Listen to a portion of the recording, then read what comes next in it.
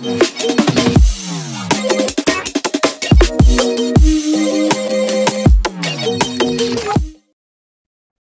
दोस्तों, मैं Harman Singh Bhalla, learn OpenStack Hindi part two में आपका स्वागत करता हूँ।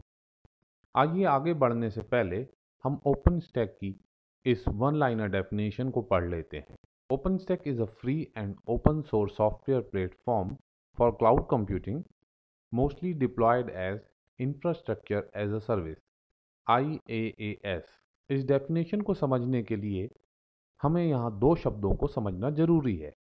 एक क्लाउड कंप्यूटिंग क्या है और दूसरा आईएएस क्या होता है? तो पहला सवाल क्लाउड कंप्यूटिंग क्या है? वर्ड क्लाउड कंप्यूटिंग का ओरिजिन कहाँ हुआ? ये बात तो क्लियर नहीं है, मगर साइंस की भाषा में क्लाउड शब्द का प्रयोग ऐसे किसी भी ऑब्जेक्ट के एक बड़े से ढेर को, जो दूर से देखने में क्लाउड की तरह नज़र आता है, और छोटे छोटे कण जो मिलकर बड़ा ढेर बनाते हैं, वहाँ अक्सर क्लाउड शब्द का प्रयोग किया जाता रहा है। मगर हम जिस क्लाउड कंप्यूटिंग की यहाँ बात कर रहे हैं, वो दरअसल internet based cloud computing power के लिए किया जाता है, जो कि हमें शेयर प्रोसेसिंग रिसोर्सेज और डेटा, जब आपको ज़रूरत हो तब इंटरनेट के ज़रिए उपलब्ध कराता है। जो हमारे कंप्यूटर्स और अन्य उपकरण जैसे कि स्मार्टफ़ोन आदि के काम आता है।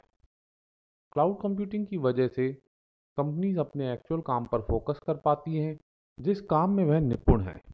और अब उन्हें इस बात के लिए परेशान नहीं होना पड़ता है कि आईटी इंफ्रास्ट्रक्चर मेंटेन कौन करेगा और इसके खर्चे को कैसे मेंटेन करना है। क्लाउड कंप्यूटिंग की वजह से कंपनीज़ के एप्लीकेशन कम समय में तैयार हो जाते हैं, फास्ट चलते हैं और उन्हें मैनेज करना आसान है और उनका मेंटेनेंस कम हो गया है।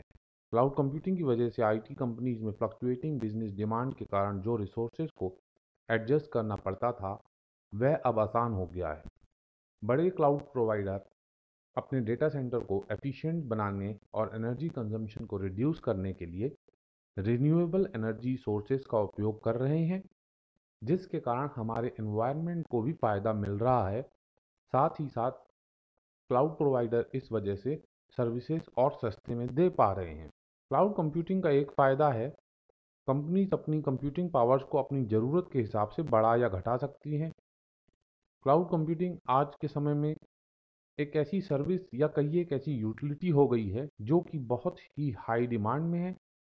इसकी वजह है हाई कंप्यूटिंग पावर सर्विस काफ़ी सस्ते में मिल जाती है हाई परफॉर्मेंस इसको बढ़ाना या घटाना आसान है, इसको एक्सेस करना आसान है और ये हर समय उपलब्ध है। क्लाउड कंप्यूटिंग सर्विस प्रदान करने के टिपिकली तीन मॉडल हैं। आइए सबसे पहले इंफ्रास्ट्रक्चर एज अ सर्विस के बारे में जानते हैं। यह सबसे बुनियादी सर्विस मॉडल है। इस मॉडल के तहत क्लाउड सर्विस प्रोवाइडर कंज्यूमर को फ़िज़िकल कंप्यूटर, वर्चुअल मशीन अथवा दूसरे अन्य रिसोर्सेज ऑफ़र करते हैं। इंफ्रास्ट्रक्चर एज ए सर्विस में कंज्यूमर क्लाउड इंफ्रास्ट्रक्चर को मैनेज या कंट्रोल नहीं करता है। उसका कंट्रोल सिर्फ़ ऑपरेटिंग सिस्टम, स्टोरेज और डिप्लॉयड किए हुए एप्लीकेशन पर ही होता है। उदाहरण के लिए अगर बात करें तो अमेजोन ई जो AWS की ऑफरिंग के बारे में जानते हैं, उन्हें इस बारे में पता होगा। और हम जिस टॉपिक या सेशन की वीडियो इस वक्त देख रहे हैं, जी हाँ ओपन स्टैक जिसका प्रयोग आज के समय में cloud infrastructure as a service के डिप्लॉयमेंट में काफ़ी किया जा रहा है, जो कि फ्री है और ओपन सोर्स भी है। पी ए ए एस दूसरा मॉडल है प्लेटफॉर्म एज ए सर्विस जिसे अक्सर पी ए ए एस भी कहा जाता है। क्लाउड कंप्यूटिंग के इस सर्विस मॉडल में सर्विस प्रोवाइडर एक प्लेटफॉर्म या एक इन्वायरमेंट डेवलपर्स को प्रदान करता है ताकि वह अपने एप्लीकेशन और सर्विसेज़ को इंटरनेट के माध्यम से बना अथवा टेस्ट कर सके। पी सर्विसेज़ क्लाउड में ही होस्टेड होती हैं और यूज़र सिंपली एक वेब ब्राउज़र के द्वारा इसका इस्तेमाल कर सकते हैं। Example A W S Elastic Beanstalk Windows Azure Heroku Salesforce Google App Engine Apache Stratos S A A S की डिजिटल दुनिया में सॉफ्टवेयर एज ए सर्विस बहुत ही पॉपुलर सर्विस है और सॉफ्टवेयर का प्रयोग करने के इस तरीके को लगभग हर यूज़र पसंद भी कर रहा है।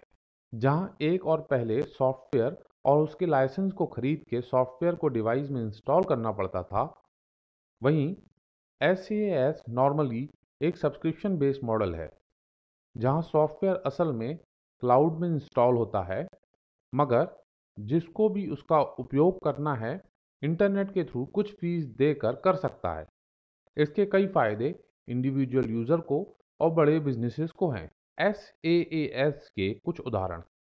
Office 365, Google apps Salesforce Citrix GoToMeeting Cisco WebEx और नेटफ्लिक्स दोस्तों इस वीडियो में दी गई जानकारी आपको कैसी लगी? ओपन स्टैक के बारे में जानने के लिए और इस वीडियो सीरीज़ की अगली वीडियो देखने के लिए इस चैनल को ज़रूर सब्सक्राइब करें। मिलते हैं हमारे नेक्स्ट वीडियो में। तब तक के लिए धन्यवाद।